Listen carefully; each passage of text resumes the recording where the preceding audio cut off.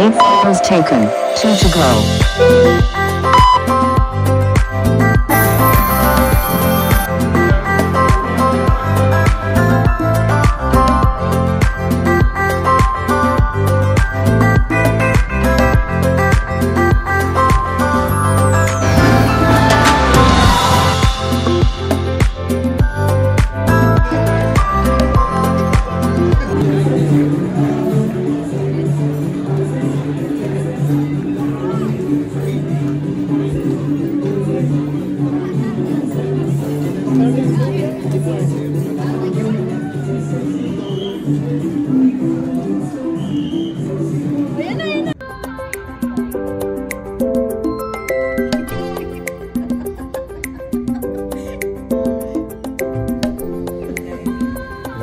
One.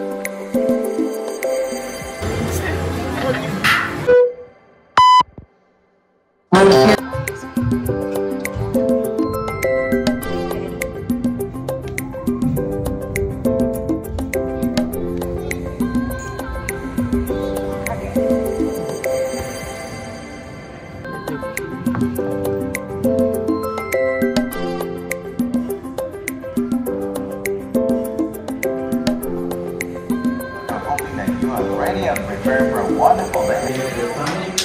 Their families.